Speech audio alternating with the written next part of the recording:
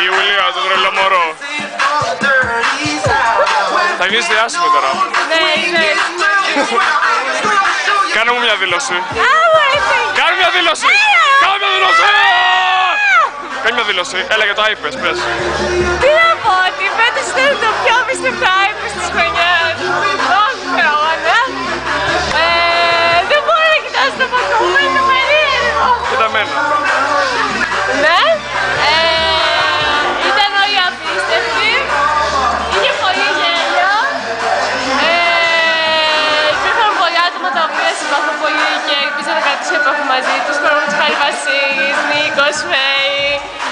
Γιάννης.